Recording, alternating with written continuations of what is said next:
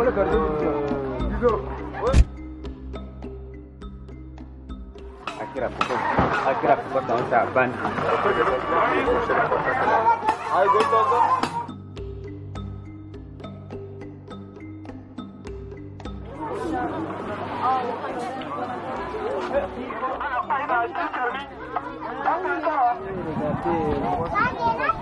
We just arrived at the Ingakobo IDP camp where we're in the middle of just starting our mobile clinic.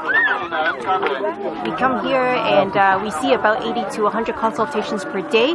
And because of the long journey ride, uh, we don't have a lot of time to uh, to spend here. We have to really do a good triage and prioritize. And our priority is always the pregnant woman, uh, malnutrition cases, and uh, children under five.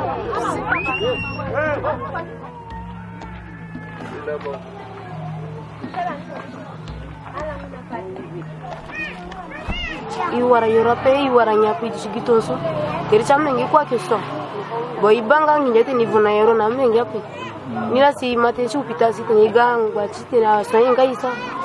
warango ko beti kini ike ike sɔn bongo sɔn bungba sɔn isitengo a cɛ so inda si loromso ike so njara wandu si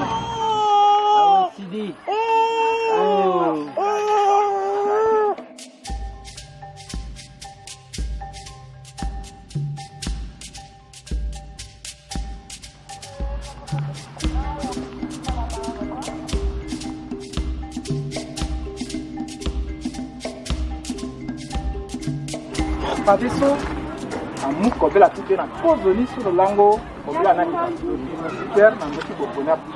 Je m'appelle Fondéma Gislain. Je suis le responsable de relais communautaire dans l'organisme humanitaire Médecins sans frontières. J'habitais le site de la cotonnerie depuis trois mois.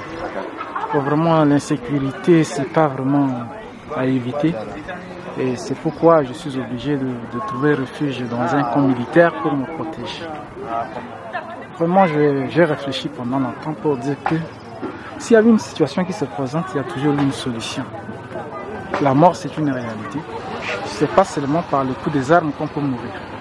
Donc, même il y a les maladies, les quoi, les consoles. Mais la situation à, à la cotonnerie, c'est difficile pour moi en tant que personnel soignant. 星期一嘛成功了快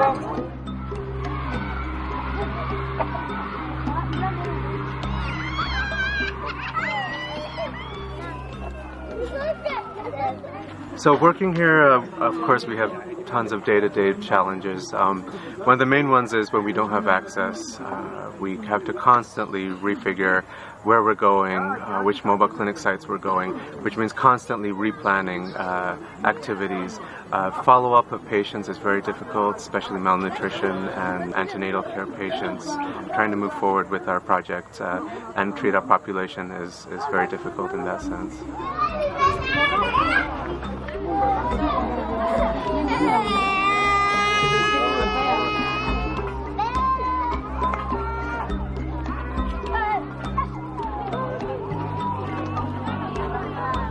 It's been very difficult to keep track of where the people are going and um, to keep track of the numbers.